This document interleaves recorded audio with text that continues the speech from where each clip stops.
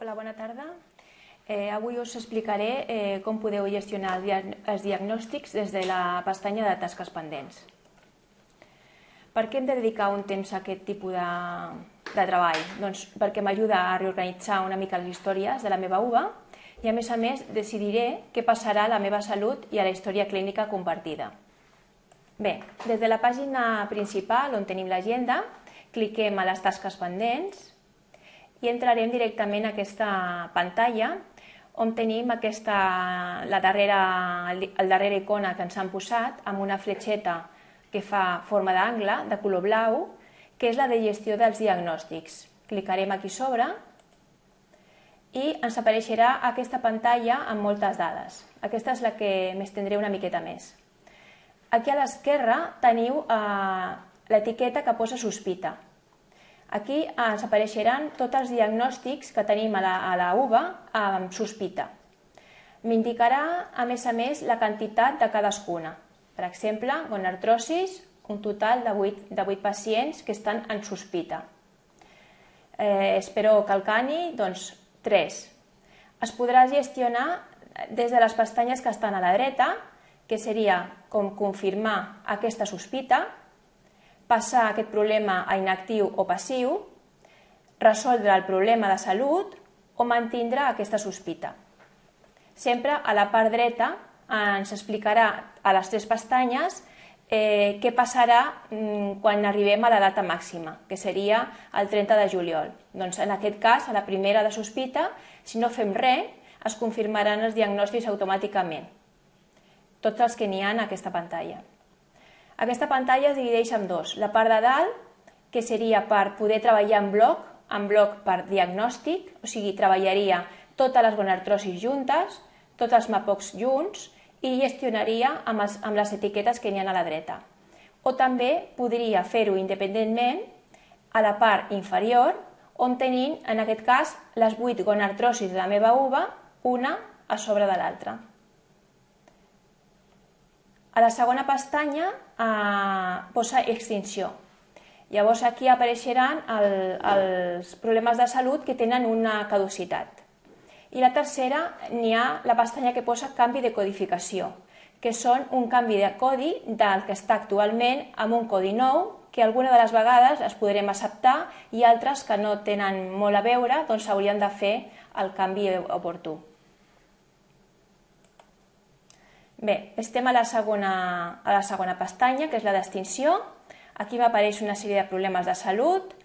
En primer lloc jo tinc el de disposició per millorar la gestió de la pròpia salut i tindria un total de 8 pacients que a data 30 del 7 s'extingiran automàticament aquests diagnòstics si no faig res a aquesta pantalla.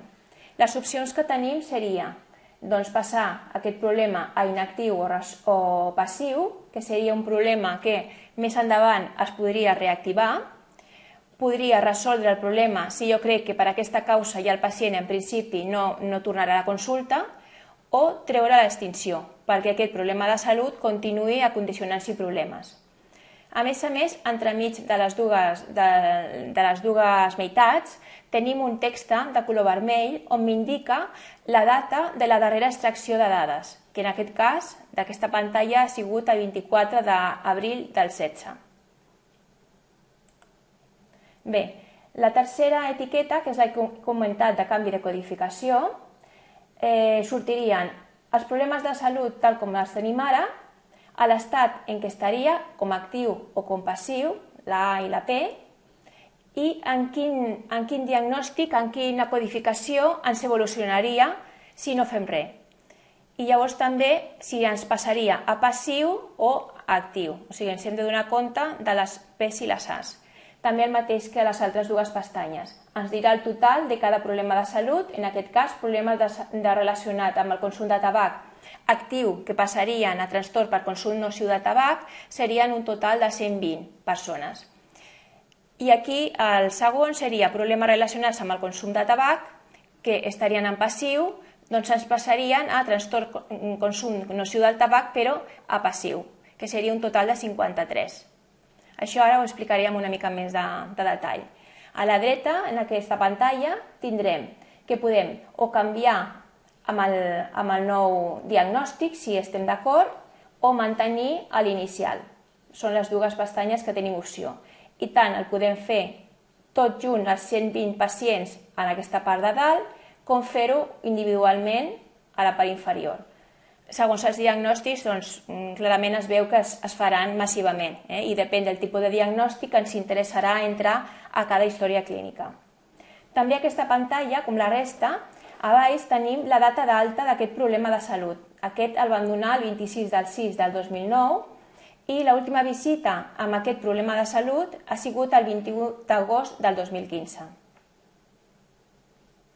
Aquí en aquesta pantalla eh, aquests serien els problemes de, de, de consum de tabac que estan de manera activa. Com tots sabeu, ara ha canviat una mica la codificació de l'exfumador. Llavors, perquè una persona sigui exfumadora, li haurem de donar d'alta del problema fumador i passar-lo a passiu. Llavors, en aquest cas, doncs passaríem els problemes relacionats, que seria l'exfumador d'abans, que estava com actiu, a passiu, estaria d'acord, canviaria massivament, i els que ja estaven en passiu, doncs en passarà doncs, a, a, al, al fumador que ja no està fumant, que seria inactiu, els 53 pacients. I aquí ens hauríem tret ja quasi 180 pacients de cop. Una altra que es veu més clara seria la hèrnia d'hiatus congènita, es evolucionaria a una hèrnia diafragmàtica sense cap tipus de, de complicació. Doncs també estaríem d'acord i canviaríem el diagnòstic, la codificació a la nova codificació. Però eh, tenim problemes amb algun altre tipus de, de problema de salut. Com per exemple, agafo aquest, eh, el tumor maligne de bronqui pulmó, que està com actiu, ens, passaria a un trastorn respiratori no especificat. Aquí tenim un pacient que aquest caldria entrar per veure què passa amb aquest pacient, perquè si ho tenim codificat com, com tumor maligne i ens passaria amb trastorn respiratori inespecífic, doncs això sí que és important eh, la repercussió que pot tenir al passar a la meva salut o a la història clínica compartida. O sigui, en aquest cas, hauria d'anar individualment a dintre de la història d'aquest pacient i veure realment si és un tumor o no i llavors faríem el canvi o, o mantindre la codificació. Com he comentat, fins ara doncs, l'exfumador, com veieu aquí, n'hi havia una codificació i és com ho teníem codificat. Però ara, tots els exfumadors els hem de donar d'alta com fumador amb la data aproximadament que va començar i passar-lo a inactiu i amb la codificació que tothom sap, que és la F17.1. I a més a més podem donar una mica més d'informació, podem eh, escollir la descripció clínica que volem posar dintre d'aquest tipus de diagnòstic que tenim en molts, en molts casos. En aquest cas podríem escollir el de fumador, que és el que em donaria més, més informació. I aquí podeu veure el comentari de nou diagnòstic, evolució per un canvi de codificació. Bé, ara estaria amb un altre diagnòstic, seria un examen mèdic general, i estem a la pestanya d'extinció. Aquest, aquest, si jo no faig res, s'extingiria automàticament el 30 de juliol. I eh, tindríem per actuar o passar inactiu, o resoldre el problema, o sense extinció.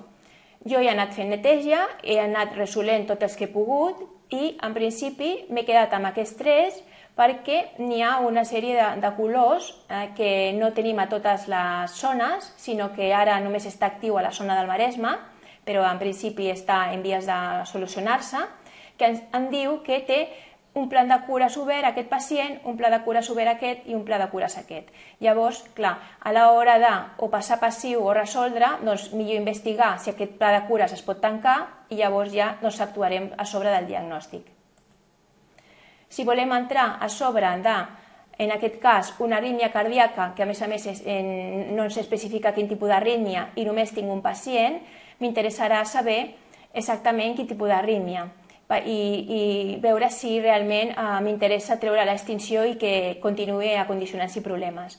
Per poder entrar a la història podem fer doble clic aquí a la zona groga o entrar pel fonendo. Llavors ja estem dintre de la història, això és un, un pacient real, veurem que té l'arrítmia, que no m'especifica res, però ve, veig que n'hi ha un comentari que posa que és una CPFA paroxística estable. Si jo em quedo amb això, ja podria fer el tràmit de la pàgina anterior. Si vull investigar més, us he posat una sèrie de diapositives que podeu mm, utilitzar-les.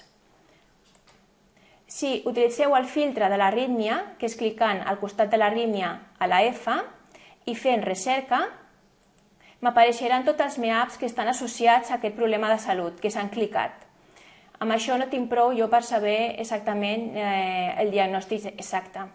Llavors tinc una altra opció, que seria clicar al filtre, com és un problema cardiològic, doncs podria escollir tots els MEAPs que ha escrit el meu cardiòleg al MEAP, que n'hi ha algun, alguna zona que escriuen a MEAP. Llavors, si jo cliqués a l'embús, treuria tots, que és el que surt per defecte, escolliria l'especialitat, en aquest cas cardiologia, però es pot fer per la resta d'especialitats, sortiria i em donaria els MEAPs que ha escrit el meu cardiòleg en general d'aquesta pacient. Veig que no n'hi ha cap, llavors penso que probablement aquesta pacient la controlen a nivell hospitalari. Per anar a consultar a nivell hospitalari n'hi ha zones que anem per capitatiu, pacients fins capitatiu, altres zones han d'anar a la història clínica compartida o la compartida de l'ICS. I aquí dintre ja em quedaré tranquil·la perquè veig que aquesta pacient té una CPRFA paroxística, o sigui, auricular paroxística, i com he, eh, vull tenir la història amb més detall, donaria d'alta aquell problema de salut, eh, amb nou problema, com tots sabeu, el tindré aquí dalt, i he de posar dintre la línia que estigui específica, la posaria dintre del problema de salut a C per FA. Llavors, com tots sabeu, es pot evolucionar el problema eh, posant-nos a sobre del diagnòstic definitiu amb el ratolí botó de la dreta i clicaríem com a evolució de. Passaríem a la pàgina d'evolucionar, clicaríem l'arrítmia, que és la que volem posar dintre de la C per FA, afegir marcats als evolucionats i últim sempre gravar. Em quedaria l'arrítmia amb la data inicial dintre de la fibrilació auricular paroxística, que és tal com quedaria. Si no voleu fer tot això perquè, clar, és una feinada, doncs també es podria veure el comentari que n'hi havia dintre de rímia específica i pues, treure l'extinció. Això ja depèn una mica del temps que disponeu vosaltres. Eh? Es pot fer de més o de menys. Aquí seria eh, una llegenda que tenim to, eh, tots a la pantalla per poder saber aquesta zona que ja tenim activa, ja sabem com funciona, però a zones que mm, en breu suposo que ja estarà activat, clicant a l'interrogant, podem veure que la primera columna d'aquest problema de salut m'indicarà si té alguna IT oberta, en aquest cas no. En la segona columna, si té algun pla de cures obert, en aquest cas no, està verd. La tercera columna, si té alguna nota oberta del darrer mes, en aquest cas sí, i si té alguna ordre de tractament eh, en vigor, que tampoc és el cas. Si no us en recordeu, doncs cliqueu aquí a sota. En resum, seria que si el problema de salut té un pla, un pla de cures obert, l'ideal seria doncs, veure si aquest ha de continuar obert o tancat i actuar segons eh, el cas. Si ha d'estar obert, doncs treure l'extinció perquè continuï a condicionar-s'hi problemes i si es pot tancar, doncs hem de fer com la resta, o treure l'extinció, o passar inactiu, o resoldre. I això és un treball d'equip, és un treball que s'ha de fer la UBA conjunta, metge i infermera. Si el problema de salut ha estat visitat en el darrer mes, doncs n'hi ha gent que millor ja vol treure l'extinció o millor, doncs, eh, segons el problema de salut que sigui, pot passar inactiu o pot resoldre. Si el problema de salut té associada una ordre de tractament oberta, doncs li treuré l'extensió fins que sigui, i si té una IT, doncs, per tant, el deixaré el problema de salut a condicionants i problemes i més endavant ja, ja l'anul·laré. Aquí tenim un altre cas que seria la retenció d'orina. Doncs aquí, en aquest cas, té un pla de cures obert hauria d'investigar o, si jo ja veig que està el pla de cura obert, puc treure l'extinció en mantindre la retenció d'orina, condicionants i problemes i quan vingui el pacient ja solucionaré el problema. O si no, s'hauria de tancar el, el pla de cures i es podria gestionar. A mesura que anem traient diagnòstics, doncs aquesta pantalla no és tan farragosa i cada vegada n'hi ha més neteja. Ja veieu que, que cada vegada queden menys, eh, és, és molt, molt lenta, però cada vegada queden menys problemes de salut. Aquí una altra, que seria una embòlia i trombosis d'una artèria no especificada, doncs en aquest cas tindria una nota oberta del darrer mes, doncs podria treure l'extinció perquè encara estigui a condicionats i problemes, no se'ns esborri. Passem ja a la que és una miqueta més lenta de fer i la que tenim més, més número de pacients, que és la de sospita. Aquesta ja l'he explicat a la primera diapositiva, que serien, per exemple, les gonartrosis, que tindria un total de 8. Jo actuaré com millor convingui, o confirmant la sospita, o passant inactiu, o resolent el problema, o mantenint aquesta sospita. Eh, vaig a un altre problema de salut que és més fàcil. Normalment quan donem aquest d'alta és perquè ho tenim bastant segur. Seria una persona que viu sola. Tinc dos pacients a la meva consulta que ho tenen en sospita. Si conec, el, conec els pacients, doncs eh, ho faria, confirmaria el diagnòstic directament i els faria els dos de cop. Eh? Si tingués qualsevol dubte, doncs hauria d'entrar de, o, o consultar. Un altre problema, que també seria molt fàcil de fer, seria em trobo un diagnòstic de causa de morbiditat i, i desconegudes inespecífiques, o sigui, no em diu res. Llavors, en aquest cas, a més a més, ha estat visitat el 2013, doncs aquest directament el resoldria i se m'esborraria de la història. Un altre seria les catarates. Pues em queden tres pacients amb el diagnòstic en sospita de catarata eh, podria doncs, o posar-lo tal com està, deixar-lo en sospita, que seria mantenir, o podria investigar si aquestes catarates han estat intervingudes o no. Depèn de si han estat intervingudes, ho resoldria o no el problema. Si encara té la catarata, doncs eh, mantindríem, la, eh, o sigui, confirmaríem el diagnòstic, que encara no està operat, i es mantindria condicionats i problemes. Aquesta només és per dir-vos que, encara que estem aquest problema de salut, sempre a sota tenim tots els pacients i podem anar al que ens interessi. Ara estic al primer, ara estic al MAPOC al segon, el que està en tercera posició i el que està en quarta posició. I puc entrar independentment d'un en un, clicant a sobre o pel fonendo. L'eosinofília seria un altre problema de salut que el tinc en sospita, només tinc un pacient i m'interessa saber si aquesta eosinofília és real o ja és passada. Llavors entraria a la història clínica, veig que no està actius, clico a inactius, veig que la tinc amb sospita i vull investigar aquesta eosinofília. Si obro el darrer anàlisi, puc comprovar que els eosinòfils estan una miqueta molt poc aixecats, o sigui, n'hi ha una mica d'eosinofília, però vull confirmar amb, amb analítiques de l'hospital, ja sigui pel capitatiu com per les altres dos llocs, a veure si allà realment puc confirmar aquesta eosinofília entro a una de les analítiques d'hospital i confirmo aquesta eosinofília, llavors la podrien confirmar directament des d'aquesta etiqueta. Encara que la fletxa està aquí dalt, és per indicar la columna, la confirmaria directament des d'aquí. Això és com la, seria la situació ideal. Cada vegada que anem traient diagnòstics més, més claret ens sortirà aquesta pantalla i seria bueno, la situació ideal que suposo que en uns quants mesos doncs, arribarem. Només dir-vos que el per què de fer aquest treball una mica farragós és perquè té una repercussió perquè mm, passa la informació que tenim a, a la història clínica del pacient passa directament a la meva salut i a la història clínica compartida. I per això és tan important veure i decidir què és el que ha de passar i el que no.